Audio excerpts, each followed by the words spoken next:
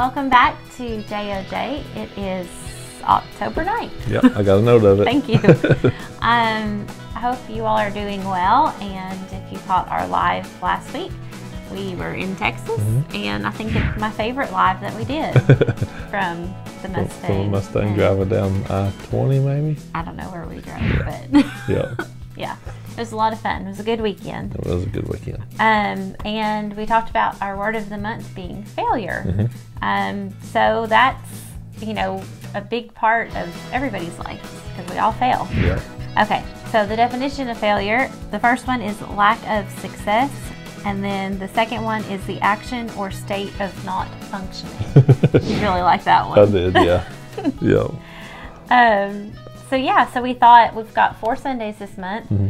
Um, so we had to find four ways to break up failure. And as Ott said to Jake earlier, we've pretty much nearly failed getting that done. Doing that. Um, so yeah, sometimes it's like we'll get a word and we think, oh, this is really going to be easy. Like we can talk about this, you know, just, you know, find some good things in the Bible and relate to it, and then we get to the day and we're like a deer in headlights. At least Yeah. I was And and that, for sure. and because Jennie allowed me to do most of the research last few day, last day or two, and I was really, I mean, I, I had I had a plan. My plan kind of failed, so um, so we got over here and, and in the last fifteen minutes kind of scrapped it, and then started over. we started over, and, and I, I think we've got a good program ahead. So we'll, we'll see. we'll see. yeah, Um, so yeah, so today, I guess, uh, did we really have a title for today? kind of what, what does failure mean to you? Yeah, is, is what yeah is Okay. what yeah yeah that you know we always do the definition the first week of the month or you know the first episode of the month, and then what the title of this one is what does failure mean to you? Um, that's kind of what this one is, and then we've got a couple verses here to share. Do you want me to do that, or you want to? Whichever. Okay, I'll do the first one. You can do the second one. Okay. All right. So the first verse, Psalm seventy-three twenty-six, says, "My flesh and my heart may fail, but God is the strength of my heart and my portion forever." Okay. And then the second one is Jeremiah 8 4. Say to them, This is what the Lord says. When people fall down, do they not get up? When someone turns away, do they not return? Mm-hmm. So, Yeah, and and I think that I really like that second verse there from Jeremiah um, about what failure means to me. I, I don't want to say all of it, you know, right at the beginning. Kind of come back, hopefully, and and sum that up a little bit with with that verse here in a little bit. But um, like Jennie said, we're, we are. I mean, failures is a part of life. Unfortunately, for for every single one of us, that's something we're going to deal with at some point in time.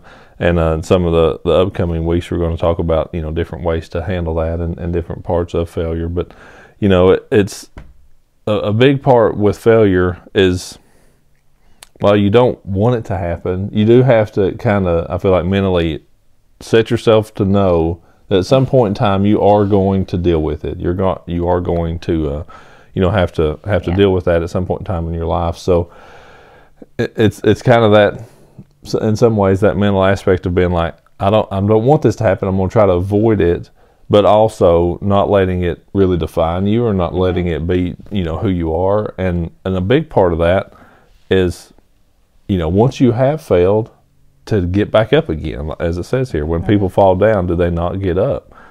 That's that's to me what failure should look like. We we know what's going to happen at some point in time, but if you just stay in that, that is really to me that's true failure. yeah. Is uh, you know that's truly we're all are going to fail. We're going to have times we mess up. We're going to have times when we're not functioning properly. um, but staying in that failure to me is the true definition of Yeah, it. and I and it makes me think of which I think I elaborated on our live of a sermon that our pastor did just a few weeks ago, and it's really funny because like we did a whole thing on I guess it was on marriage and like some of the stuff he was preaching about like Yeah. was directly related to what we were talking about on our thing, and Yeah. then the other day he, he or I guess it was about three weeks ago did a sermon on um, well, what was the title of it? I just kind of rewatched it last night. Yeah, he spoke about repentance in it, but about worldly, Overcoming yeah, failure, worldly sorrow, and We're gonna really mess that up. one thing he did say was it, it's important to not label yourself as a failure. Yeah. Like it's so easy because you know you're going to fail more than one time. So it's easy to say I have failed, Mm-hmm. but then you get in that mindset of saying I am a failure, and that's obviously not good. Mm-hmm. Yeah. Um, so it's it's important that even though if you have failed at something that you don't adopt that into it's like you were saying Mm-hmm. to not define yourself as a failure yes you failed but it's what you do next is Yeah. you know Yeah. the important part of that So we've got we, we've we asked the kids, you know, what does failure mean to them, and uh, and here's what they had to say about that. What does failure mean to you?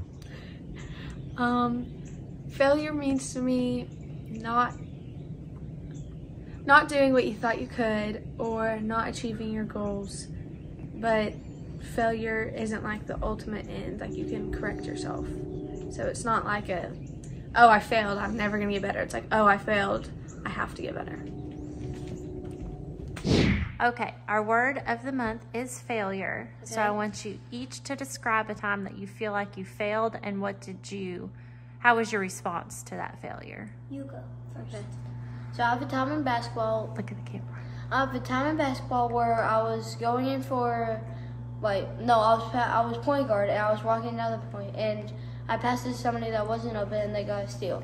So I feel like that was a failure and I ran back down the court and I blocked it.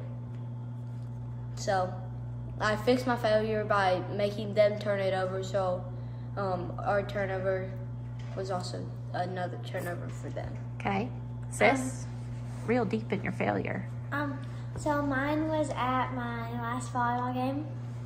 Whenever, um, I felt like I failed my team, but um, I just fixed it by realizing that it wasn't just my fault and that I don't have to carry the burden of it. So that's kind of how I fixed my failure. Why is Noni's better than mine? Hers was a little deeper on the sentimental side. Well, I didn't really have any other thing. Because you don't fail. Exactly. Ah. I don't fail in life, at least. At least my, I Bye, guys. So, as you can see with kids, what they view as their failures is probably much different than, um, you know, of course, we've got middle school and, and high school right now. So, as a young adult, um, you know, if college kids or if you're young and married or young and single, like your failures might be something totally different than of a child, and then same as adults Yeah. um, you know, because I kind of think, I mean, for us in the heat of parenting, I can say that I fail a lot in that category. There are some days that I am an amazing mom and they are so happy and they love me. And, you know, I, they say thank you every now and then. Mm-hmm. Uh, and then there are other days that they're like, don't talk to mom. Yeah. I mean, there's it's usually, Yeah. Oh no, it, it it comes and goes, ebbs and flows, and and it, there's no, no doubt about that. And that's I I know there's been several key instances where I, where I have failed as a as a parent. Um, uh, sometimes to parenting other people's kids. well, maybe, but uh, I, I mean they said I did a good job. They, they appreciated it. Um, but uh, one in particular, and I think I've mentioned it before about my love of sports. You know, especially with with uh, ch- kids athletics, and you know with with that stuff of how just how much time that it takes, and you know how enthusiastic I am to to be doing all that.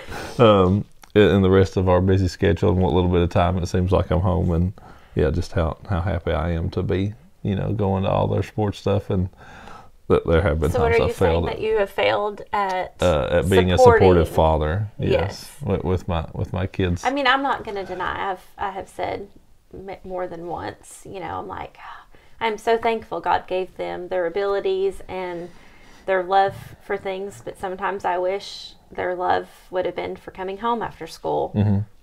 sitting quietly, yeah, reading a book. yeah, that, that would be okay. Um, uh, kind of switching gears a little bit in in my in my world in my line of work. Um, you know, I, I look at small failures and big failures.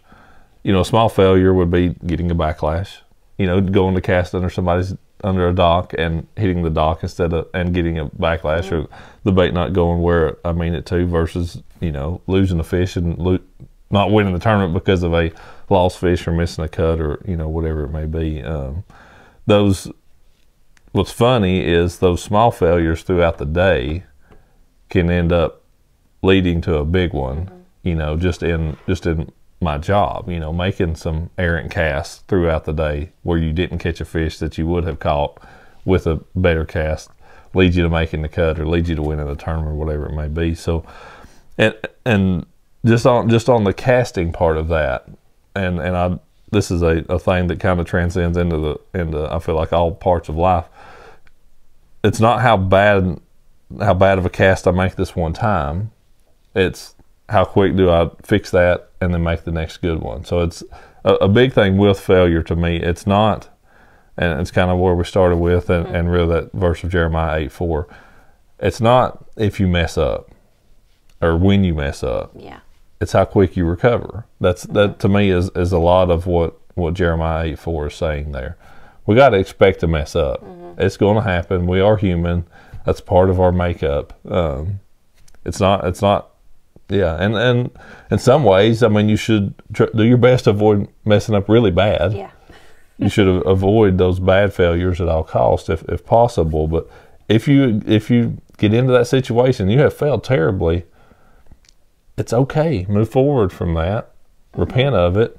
Move forward and try to do the next right thing. That's that's kind of kind of the big deal there. Exactly. And it kind of goes into, you know, last month we talked about repentance and all the steps you take with that. And it's kind of with failure. Like you failed, and, um, you know, if, if there's something you need to repent of, you do that. And, you know, we're thankful that we have, you know, God, He, he forgives us and He knows we're going to fail. Um, and again, I think it's just how we get back up is what determines the next step. So. Absolutely. So we'll read these verses again, and I think we'll we'll wrap it up. So uh, Psalm seventy three twenty six: My flesh and my heart may fail, but God is the strength of my heart and my portion forever. Yeah. And then Jeremiah 8 4 Say to them, This is what the Lord says when people fall down, do they not get up? When someone turns away, do they not return? All right. Well, thank y'all for watching, and we will catch you here next week.